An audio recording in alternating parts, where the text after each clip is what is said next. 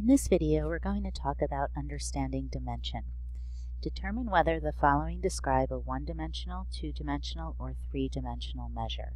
So first, let's just start by talking about the different types of measure. If we have a one-dimensional measure, that means we can move in two directions. So in a one-dimensional world, if this is you, okay, you could only walk on a line. You couldn't walk this way, this way, you couldn't walk up up would not exist. Okay. In a two-dimensional world, you could walk in two different dimensions. So if this is you and you started here, you could walk to the right or to the left, you could walk up or down, and you could actually walk in any of these directions.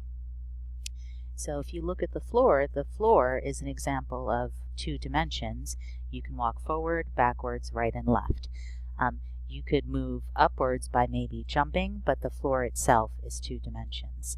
So you could think of this, I'm going to write a, draw a little square for the floor, and you could think of one dimension as a line.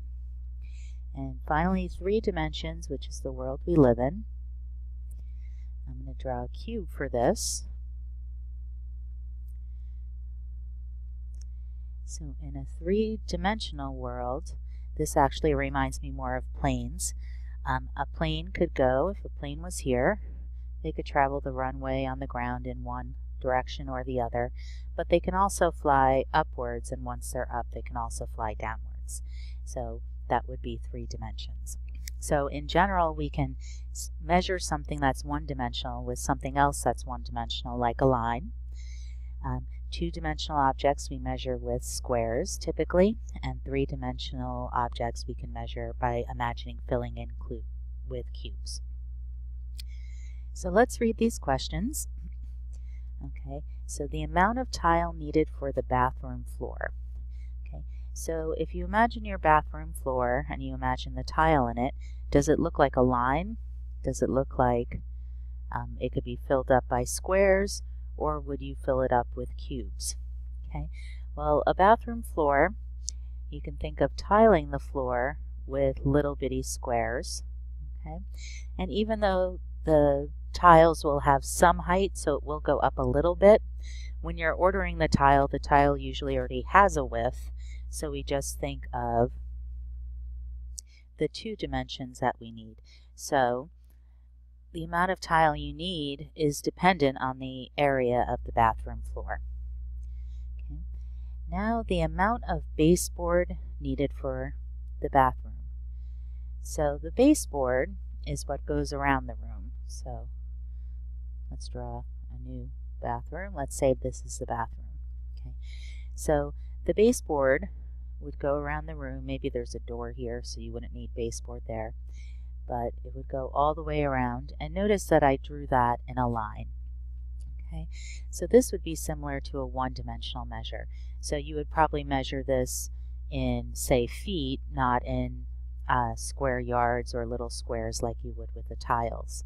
Okay, now again, the baseboard, when you order baseboard, it has some sort of height and it does have a width. It sticks out of the wall a little bit. But in general, what you're looking for is a one-dimensional measure, you'd need to look at this line around your bathroom to determine how much to buy. Okay, let's look at the next one. The amount of paint needed for the bathroom walls. Okay, so if you've ever bought paint before, um, you usually buy paint in gallons.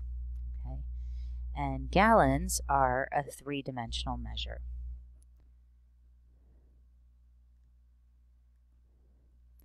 So if you if you can picture a paint can, when you fill it up, okay, you can move to the right and to the left in the can. You can move in the opposite two directions in the can, okay, and then you can also go up and down. Okay.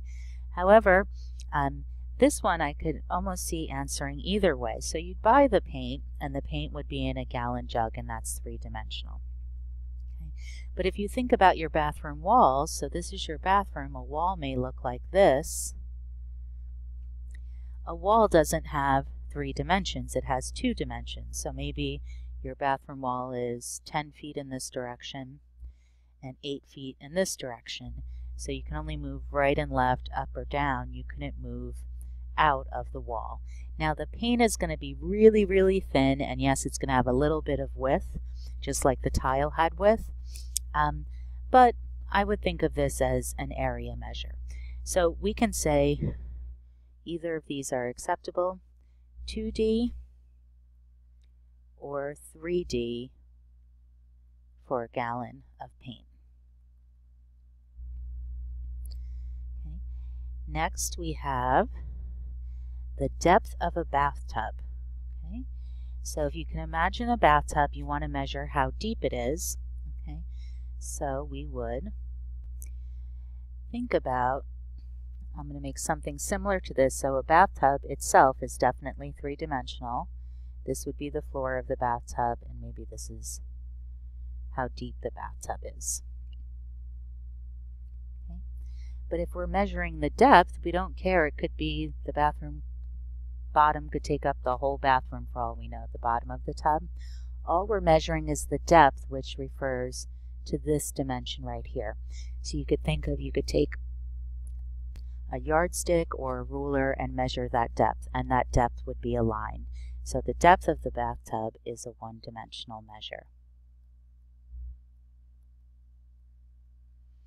Okay. Now we have a footprint on a bathtub mat. Okay, so here's your bathtub mat. You step out of the tub with wet feet. Let's see how well I can draw a foot. Okay, you'll have to use a little vision there. And you get that part of the bathtub that has your footprint on it from the water. Okay. Well, how many dimensions does this have? Okay. So notice we can go up and down this way. We can also move this way, right and left. So it's definitely two dimensions. It doesn't have a height. It's not moving up or down. It may be depressed a little bit from the water, but in general, this is a two-dimensional measure.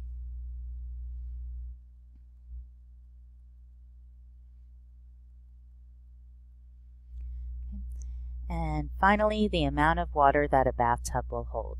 So again, this is our bathtub, and when you think about the water, when you're pouring in the water or filling the tub, there are three directions that the water can go.